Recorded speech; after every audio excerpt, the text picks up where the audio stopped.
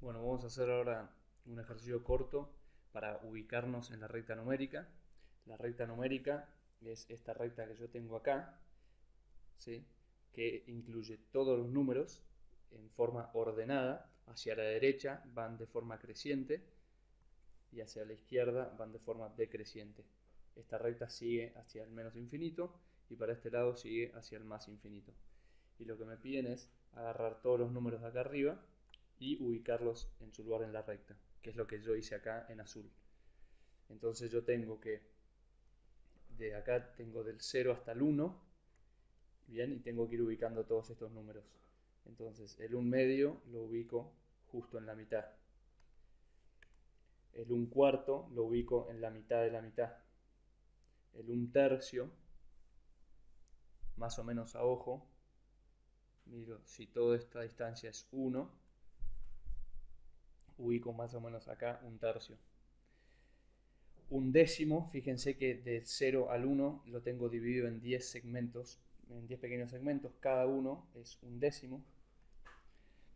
Un quinto es dos veces un décimo. Eh, un quinto es, si lo tengo en 10 segmentos, dos segmentos son un quinto. Eh, dos medios es un entero, por eso lo ubiqué acá.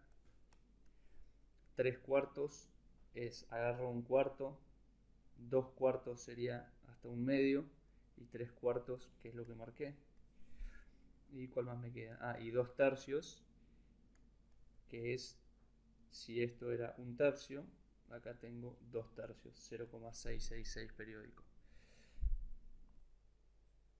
Bien, después a partir de lo que ubique en la recta, los ubico acá en orden tal cual me pide el enunciado.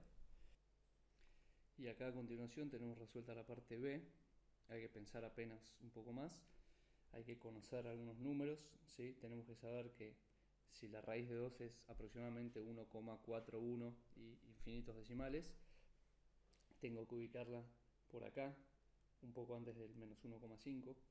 La raíz de 3 habíamos visto que era aproximadamente 1,7 y infinitos decimales, así que aproximadamente había que ubicarla por acá. Eh, el 1,999 es aproximadamente antes, está aproximadamente antes, em, perdón, acá había hecho un error, está aproximadamente antes del 2, 1,999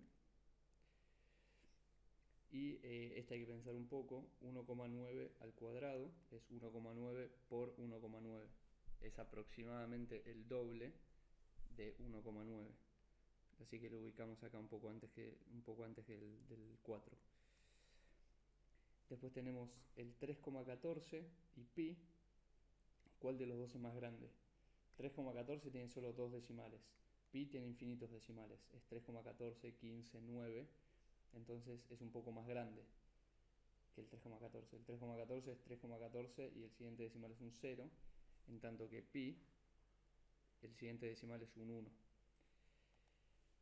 Este, y bueno, esos son todos. Espero que les haya quedado igual y que hayan comprendido por qué.